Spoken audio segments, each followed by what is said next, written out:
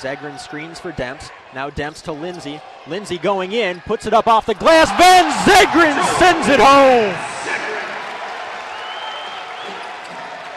Fairfield answering right back. That's Curtis Cobb with a three from.